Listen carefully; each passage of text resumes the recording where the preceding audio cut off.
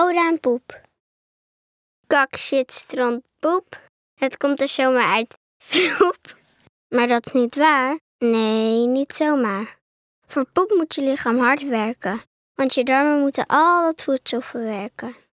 Volkoren brood helpt die arme darmen. Met kneden, kronkelen en knorren. Want alleen zo komt er stevige poep uit je kont.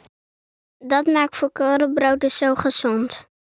Brood uit Europa. Goed verhaal.